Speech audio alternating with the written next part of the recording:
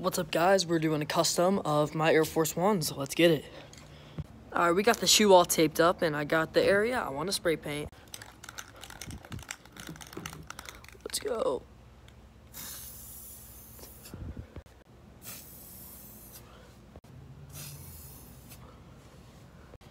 I can't wait to see how this is gonna turn out. This should be pretty fire.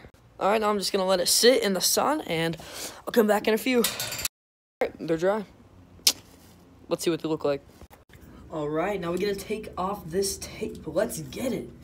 Ooh, ooh, ooh, ooh. That's nice. Oh my gosh. That's so fire.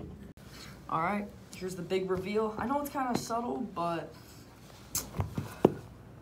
I think it still looks really fire. Let me know.